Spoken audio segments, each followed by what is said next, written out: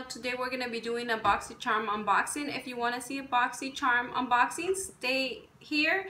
And if not, then you don't got to see this. So let's do this. So let's see what I got on my BoxyCharm this month for the month of October.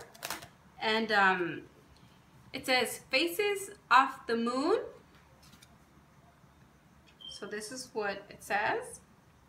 So the first thing I see in my box is this um, Palmetto Derma Rejuvenating Antioxidant Mask, which is this. And let's see how it feels. So,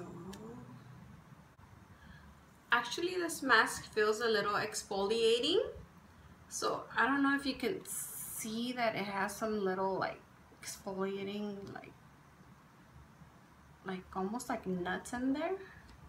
The value of this mask is $64 and uh, my box was only $21 so I've already made up way more for my box than I paid for. The next thing I see in my box is this um, Punk Volumizing Mascara.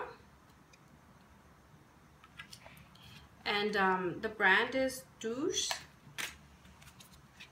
And let's see how this mascara looks. So this is the mascara and it's also a full-size mascara. And this is the wand. So the, um, the mascara says the Punk Volumizing Mascara um, brush features both long and sharp bristles um, that work to separate length and, and add extreme volume to your lashes. Mascara is worth um, $24. Next thing I see in my um, box is this um, Bella Pierre. And this is um, a lip stain and cheek stain. So this is the color. So let's see how it looks.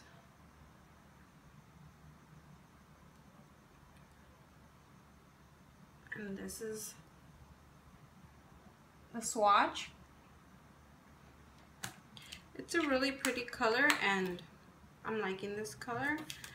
And the value of this lip um, and cheek stain is $19.99 and I also received the full size.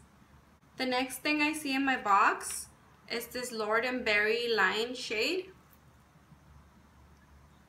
And it's in the color dark black. And it's this eyeliner. So let me swatch this.